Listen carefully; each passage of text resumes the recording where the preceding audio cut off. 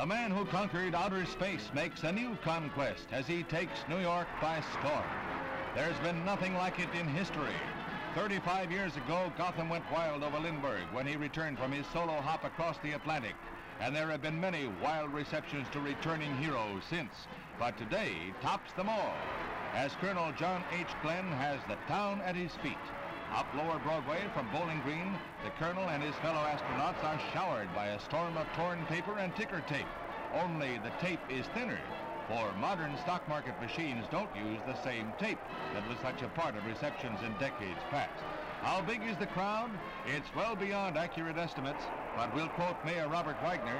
He puts it at four million, and the millions roar.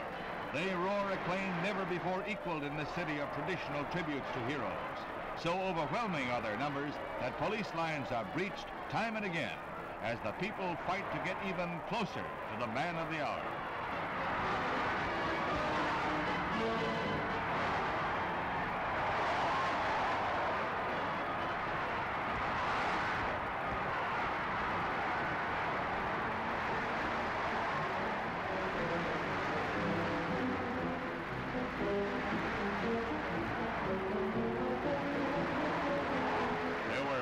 Of empty desks in city classrooms today. It was a strange epidemic of absenteeism that also spread to the suburbs.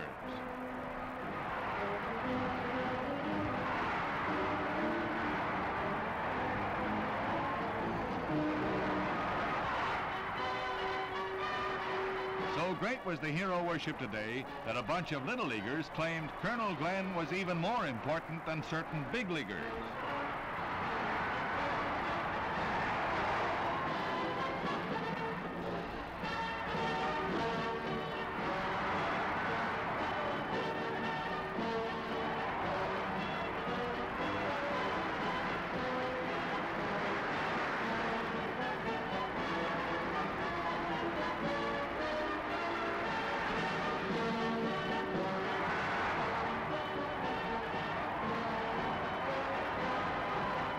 In proper places of honor are Colonel Glenn's fellow astronauts, the men who are helping blaze trails into the future.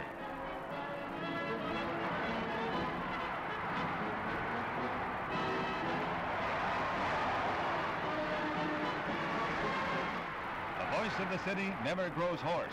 The crowd seem to grow larger with every passing block. And as the parade nears City Hall, the crush is so great that an iron fence is even torn from its concrete foundations.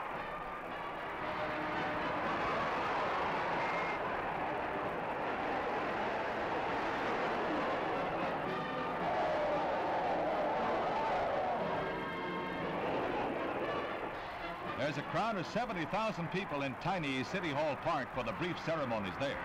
Many celebrities have been welcomed at the famous building, and today the Lord Mayor of Perth is here.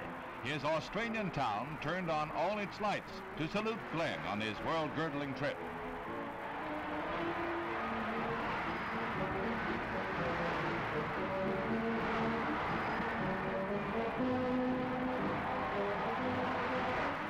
Brief stop at City Hall, Colonel Glenn signs New York's famous Gold Book that lists distinguished visitors.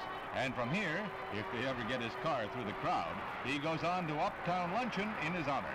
There were two bands in City Hall Plaza that were scheduled to play, but they were swallowed up by the crowd.